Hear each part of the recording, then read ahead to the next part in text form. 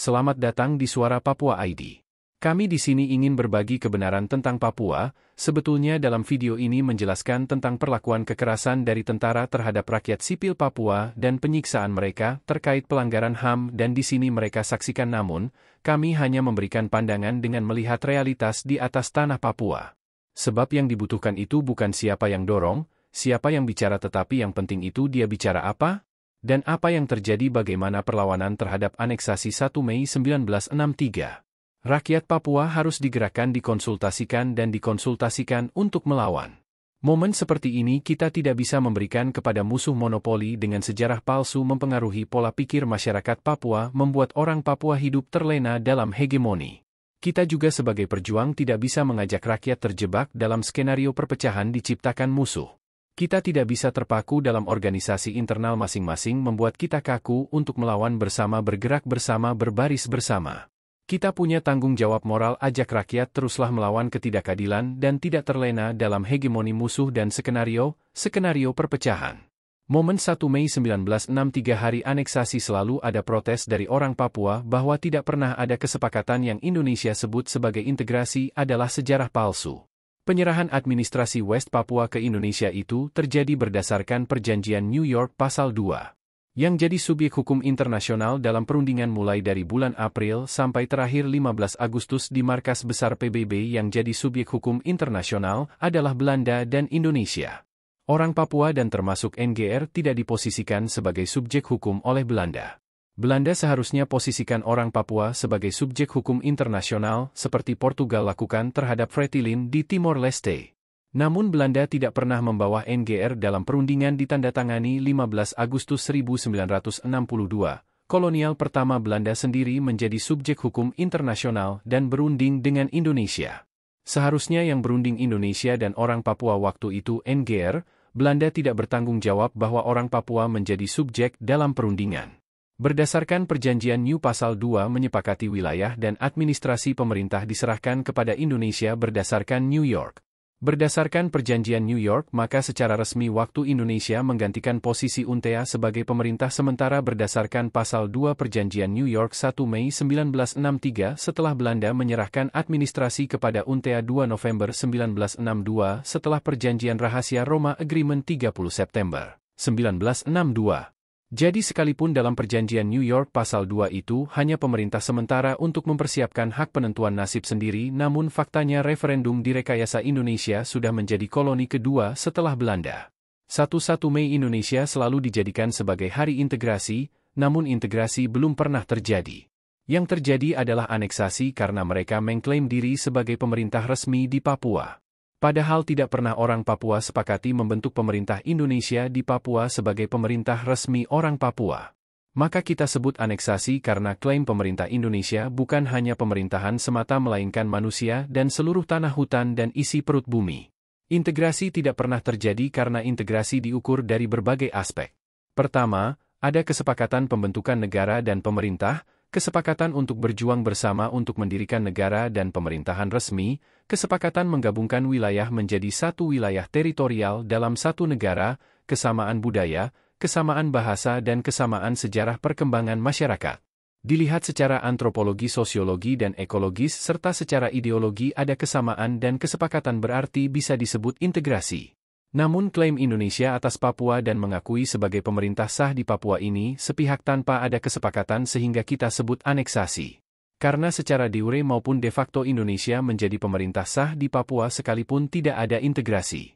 Upaya aneksasi sudah dilakukan sejak 19 Desember 1961 melalui Trikora adalah upaya awal aneksasi bangsa Papua dan wilayah. Betul perjanjian New York pasal 2 penyerahan administrasi sementara untuk persiapkan proses dekolonisasi namun, ada teori konspirasi mengkhianati perjanjian New York dan Indonesia menjadi pemerintah kolonial di Papua. Waktu perjanjian New York bangsa Papua dilibatkan sebagai subjek termasuk NGR ikut terlibat sebagai subjek nasib kita sama dengan Timor Leste di mana Portugal sebagai penjajah di, Timor Leste membawa wilayah dan Fretilin menjadi subjek hukum internasional dan terus mendorong di PBB sehingga Timor Leste merdeka. Sementara kita Belanda tidak bahwa orang Papua jadi subjek namun dia sendiri jadi subjek berunding dengan Indonesia. Jadi kita sebut aneksasi ke dalam Indonesia unsur dan aspek dari dua kata yaitu kata integrasi dan aneksasi. Aneksasi definisinya suatu wilayah dan manusia dipaksakan dengan kekuatan invasi militer dan pemerintah tanpa ada kesepakatan dimasukkan dalam satu sistem pemerintahan. Itulah hari ini Indonesia lakukan sejak tahun 1963 tanpa ada kesepakatan integrasi. Saat ini orang Papua lebih banyak memperkuat sistem Indonesia karena sejarah palsu sudah menjadi darah daging melalui pendidikan formal kolonial. Sementara yang berjuang Papua merdeka sekaligus protes sejarah palsu di Papua hitungan jari. Kita masih melihat siapa yang mendorong, siapa yang bicara berarti kita menguatkan kehendak musuh terus memecah belah dan menghancurkan nasionalisme. Perbedaan perspektif dikelola dalam membangun sistem demokrasi kita dan bergerak bersama menuju revolusi demokratik kebutuhan utama sekarang. Orang Papua terancam genosida, ekosida etnosida, berdiam diri atau bangkit melawan.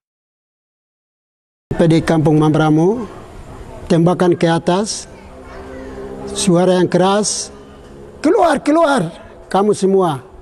Maka kami semua masyarakat keluar, dan dua orang yang tidak keluar, yaitu almarhum Mundu Soklayo, Yepam Yawasam, sehingga dua anggota Brimob naik dan tarik mereka keluar.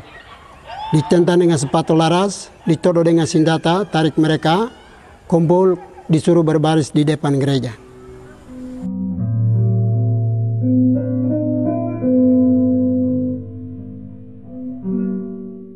Brimob datang itu kita tidak tahu.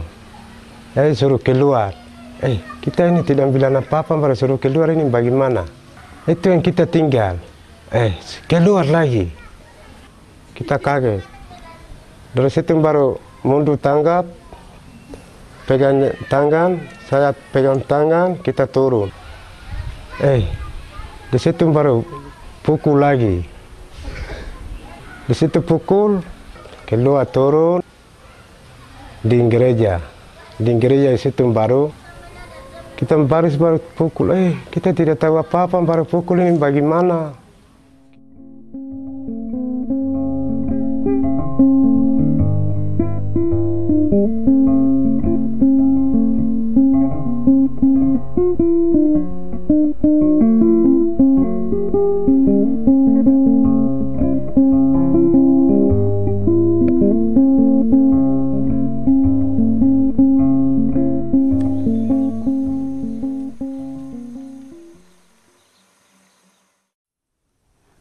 Upinan gono wari penonen penonen ature ragon ime tupunggun pa besimba na pa andugindam pa muero telan yang ipina gono wari ninggelo kini nyokelo kiwar obnen guara Lalu saya disuruh naik mobil. Di dalam itu mereka ancam-ancam saya.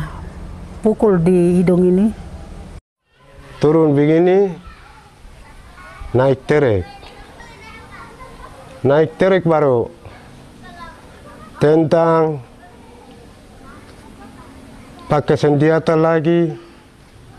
Ano, nini ngigele nini yokele warak kolam upinan guarak. Kolam upinan gua me anan berapa jam dan dawo nugudi ni pinan ni wara ni pinan ni wono gari ni nengi ni yokele pian guarak. Pian bon gari ani no madla wakenega ngiga me telan yang ngigele warak kolem gera kolem gera mandan on dubia dige na kuarak. Selama perjalanan dari Padang Bulan, tempat saya tinggal itu sampai ke luar kota, saya diancam. Terus dengan mereka punya kata-kata, kamu punya anak ini yang bunuh saya punya anak, jadi tetap kamu satu keluarga itu saya akan habiskan. Mereka ancam terus pukul saya lagi di hidung ini dua kali. Terus mereka bawa saya dan bilang, kami mau pergi habiskan ibu di Abe Pantai. Masuk ke Pulau Segabe. Di situ kita turun. Eh, saya lihat itu orang duluan masuk yang berendara. Saya kaget dari situ. Ndugino pono wari, ndugino pono wari, nengi gele, nengi gele war o yon atari ke kui, nengi be no kele war o pe nengi me tari ke kui, niyo pe no kele war o pe no tari ke kui, pe no kele war o tari ke kui, nengano me gele war o me tari pe no pe no tari ke kui, e pan gon wari talim danda o nam briti ler mini mene na biro wara. Setelah kami berhenti, ada mobil berkaca gelap. Sopir yang sopir dari mobil kuda itu bertopeng dan pegang senjata berdiri di belakang mobil. Terus tadi Brimob yang eh, tangkap saya itu dia pegang tangan kiri ini dan dia tarik saya untuk mau keluar. Terus saya tangan sebelah kanan ini saya pegang kursi dari sopir. Saya pegang, terus sopir itu tolak saya dengan laras, laras di sini, dia tolak. Jadi kita baku tarik itu, baku tahan itu selama tiga menit. Langsung saya bicara, mungkin anak-anak itu di gunung. Langsung mereka bilang, sudah kita ke Polda saja. Eh, suruh baris kita tur, suruh baris itu kita baris semua. Itu baru kayu balok besar panjang begini. Itu baru kain besi pukul sampai pukul sampai darah keluar. Sudah mait ini dia punya ini sudah bengkak.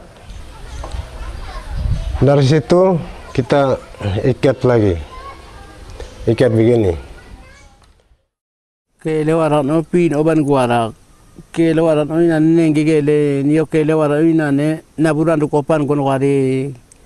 Naburan du kopan kono wari. Ringa wi di wa ni na o nam bulik tu tuber oban guarak tuber oban kono wari. Minta minta na nam bulik klik warak nam bulik klik onen kore gi bar oban guarak kore gi bar oban guarak me ya nam bu ya nam nam bu kira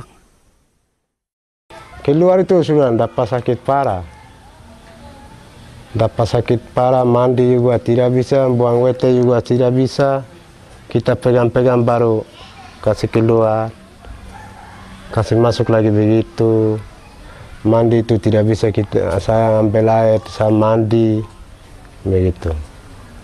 Itu sampai parah itu sudah, lama-lama itu sudah meninggal.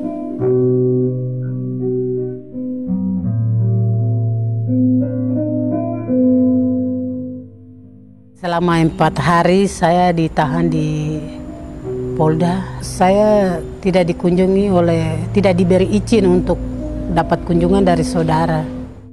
Sudah gelap itu kita masuk ke dalam kamar gelap. Kamar gelap itu kita tidur satu hari sampai yang minum gelap-gelap. Kita parap sedikit baru keluar.